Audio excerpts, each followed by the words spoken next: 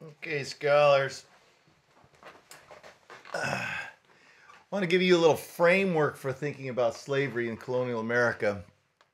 We're going to deal with slavery a number of times as on into the revolution. We've already dealt with it several times. And just let me give you a little bit of a framework here for understanding what I think is a, a way of thinking about it, which is to move from informal structures of slavery to a formal structure of slavery embodied in slave codes and stuff like this that bring about chattel slavery, this especially heinous form of slavery that uh, Americans developed, and uh, it led into our Civil War.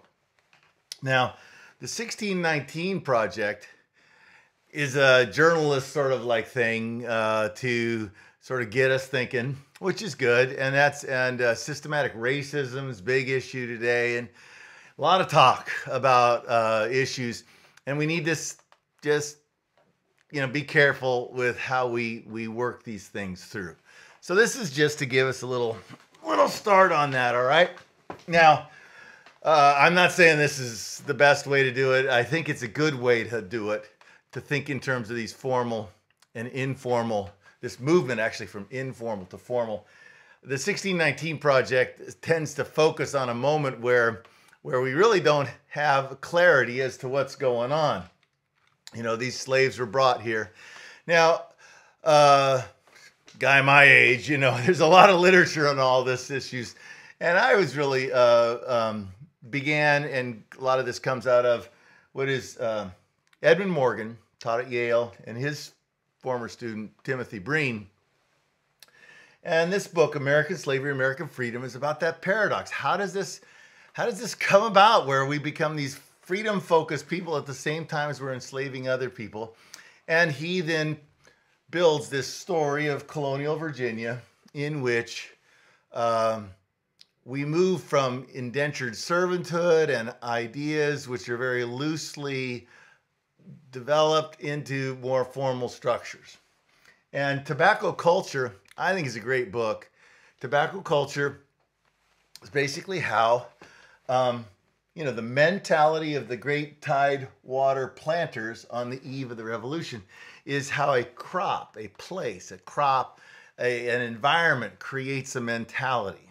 And uh, this planter mentality he talks about. It's a very powerful book.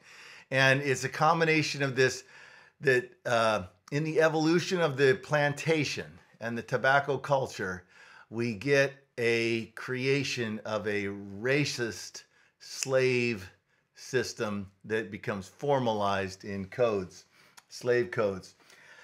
Let's go back to Cotton Mather. We've talked about Cotton Mather, and and there's been some good work uh, done on Cotton Mather and his views towards slavery and his views, especially toward Onesimus, who is his slave, and and he's a way of thinking about the informality of slavery. Uh, slavery is taken for granted or not thought about fully. He's ultimately against slavery. Uh, all Christians are ultimately pro freedom type of thing, and yet he embodies it in his. So he also has these paradoxes and stuff uh, with him. I give you. I give you one of those uh, DC comics where uh, Cotton Mather was one of the DC evil heroes, and you know who dares to disturb Mather's prayers, right? So uh, Mather is a slave owner, okay, and he owns Onesimus. His church gave him to him, but he he works within these humanistic informal traditions. They are biblical traditions, going by Onesimus, of course, is a, you know, uh, Bible does not attack slavery. Slavery is what you want to get out of, and, and Paul recommends to Philemon to uh, embrace uh, Onesimus in fellowship as a brother in Christ. So it's a very complex sort of thing, but they're biblical traditions of slavery. And then there's these Aristotelian traditions, which are also within the household, within the within the polis, and um, and they're uh, both of them are what you would call benign. They are trying to uh, promote uh, a type of uh, labor and social fellowship relationship, which is uh, good for the whole of society, good for uh, the person, the flourishing of the people inside and is ultimately um, not oppressive. Okay, neither of these traditions is designed to oppress labor. Okay, So you have those traditions, and you know they they're there. And then you have these indentured servanthood traditions, which, um, especially coming out of Britain, an educational system, uh, especially for uh, uh, training up um, young people into uh, professions and things like that. And so, so there's indentured servanthood traditions. You sign yourself over to be a technically sort of semi-slave for a period of years, in which there's supposed to be sort of a sort of reciprocal relationship. And then you have all sorts of assumptions about ethnic hierarchies. This is where the blackness does come in, uh, like with Spain and Catholics in the Mediterranean and Africa and uh, Moors and all sorts of things. But it's certainly not racism in the way 19th century especially began to develop racist theories of racial divisions, yellow, red, white, black, this sort of stuff. This a lot of that comes out of the early anthropologies and stuff of the German universities in the 19th century. Has roots, of course. Nothing is black and white or black and white in these sort of situations, but there's a um, uh, a real difference to racist thinking in the 19th century to the slave codes and such in the 18th century. Now, two ideas. We talked about this in the other um, other video. Is this polygenesis and the curse of Ham? For Cotton Mather, there's not either of those. Okay, so he has certain ethnic ideas. Uh, you know, this idea of you know different ethnic groups are are lesser or greater or more vigorous or that sort of stuff. Uh, but he doesn't have an idea that there's a separate creation for blacks something like that, or a separate creation for Indians. No, we're all humans. We're all part of this together. No curse of Ham. No, nowhere God specifically has chosen one race to dominate other races or anything like that. Um, he he has um, a much more sort of comprehensive and benign sort of traditional way of thinking. I'm not saying it's right, but it's it's the stuff that uh, that uh, you know, the 18th century, especially the middle colonies and the northern colonies worked with. We talk about slavery, you know, being uh, attacked, uh, you know, or gotten rid of in in uh, New England and in Pennsylvania. John Woolman, Cotton Mather, Samuel Sewall, these guys, and they're they're just working out of these other traditions and largely out of a, a freedom orientation that freedom is best and slavery is bad.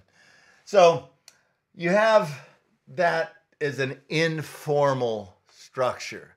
It's there are laws about slaves, but there's not there's not slave codes. There's not a there's not a structured thinking about slavery in the way that uh, you know, especially any sort of race-based slavery. And then ultimately, you have opportunities and uh, responsibilities. Uh, education uh, Onesimus is brought into the family. He needs to be educated like everyone else is be educated, especially to read the Bible. Uh, within the family structure, you have everybody. It's a hierarchical structure. It's patriarchy, matriarchy, parentarchy, but but at the same time, it's it's based on love. It's based on mutual uh, uh goals of of the flourishing of the whole. And then you also have, uh, you know, that you're supposed to be evangelizing all these people and bringing them up into Christ hopefully, and then when they become, especially part of the Christian fellowship, you embrace them as part of the Christian fellowship.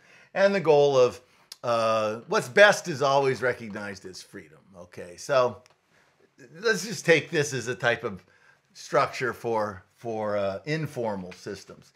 Another way to look at the informal systems is to look at this great book, uh, you know, the interesting and narrative life of Olaudah Equiano. Okay, Equiano's he's more of an Atlantic character. You see, this is the he's he's not uh, specifically a colonial American. He's he is taken from West Africa, and uh, you'll hear um, sometimes there was a period where people were saying his book is not you know correct, and it's it's been fudged and faked too much. But uh, the general consensus now is, and especially with some real good articles, is this is a real true book. He's taken from Africa. He's come over here. He gets involved in the Navy, so he's with the British Navy, and so this raises a fun aspect, fun, uh, a interesting aspect of the informality is he is on a on a ship it's incredibly hierarchical. And the captain's power is is almost extreme. There's a slight separations of power within the first mate and the captain and owners and stuff.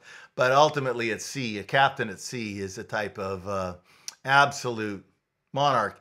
And there's lots of discussion talk comes up in richard henry dana of sailors being slaves. And so so the slave status of Olaudah Equiano on a British ship is not really clear and distinct. And so he's a steward, he's a type of servant of the officers, and at the same time, uh, he participates uh, in the same in the in the the structure of the boat in the same way as as everyone does. And uh, what happens though is he gets taken to London, and they do not allow him to land in London uh, because uh, there on land, he could actually attain his freedom in various ways. He eventually gets educated. It's a complex story. You got to read it. It's a great story. But what, for what we're talking about is, is, is when you read Olaudah Equiano, what you're seeing is the informality of, of the slave of existence and, and, and how blackness, Africanness is being thought of in, a, in very unstructured ways. And so Equiano, you know, very uh, interesting guy, eventually becomes free. Over here, he actually is a captain of a slave ship. And so he's a black captain, you know, taking slaves. Breen writes about uh, another book about uh, the Eastern Chesapeake, in which slave there are black people owning plantations of, you know, owning other slaves. So there's a lot of complexity to the informalities, all right? Now, let's get to the basic uh, Edmund S. Morgan argument. Is uh, is he sees you know when in 1619 when you uh, bring people to Jamestown and there's some women, there's whites, there's and then a shipload of blacks. They're they're being sold under this informal sort of structure as indentured servants. That's the primary sort of way to legally understand it. And then uh, what he po- points out is that as blacks and Indians and stuff get forced out to the frontier, along with uh, poor whites and such, there's a multi ethnic rebellion called Bacon's Rebellion. And uh, blacks, whites, you know, they're Indians are side by side fighting uh, to uh, against the, the the governmental hierarchy down here in, in Jamestown in the Middle Plantation. So what uh, happens is is that these guys get put down. You know, they come down here, they burn down Jamestown, but the uh, revolt gets taken down, and so the government in the period of 1676 on through the next 30, 40, even 50 years starts to develop codes, slave codes, in which these slave codes um, separate black and blackness and slavery gets tied to blackness and and then you get these systems uh, especially where you travel uh, your slave status as a in your the, your actual race your chattel your your character as chattelness uh, passes through the mother. And so here's thomas jefferson's family. This is his father-in-law and his father-in-law gives birth to his you know future wife or future wife here but then his uh, father-in-law is also uh, producing slaves because this woman's a slave. These children produced by him are slaves.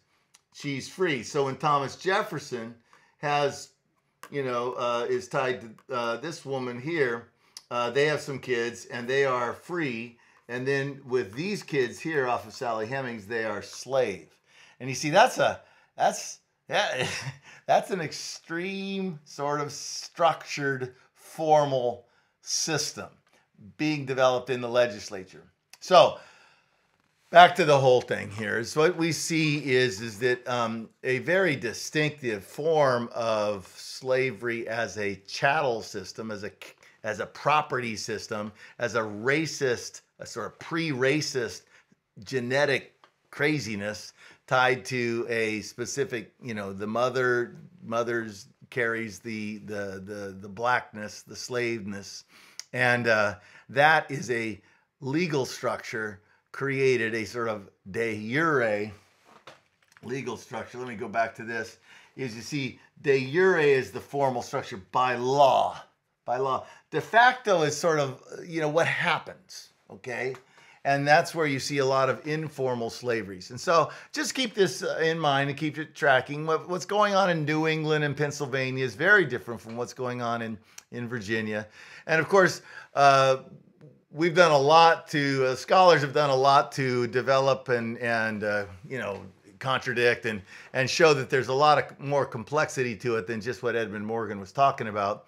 There's uh, the influence of Barbados, all sorts of other things too. So, uh, with that, though, let's just uh, point out that uh, in the 18th century, we do not have the sort of same structures of thought that are going to lead into the Civil War. They are uh, going to evolve. And we'll talk about that evolution, especially as we move into the 1820s and some slavery freedom movements and stuff later. Okay?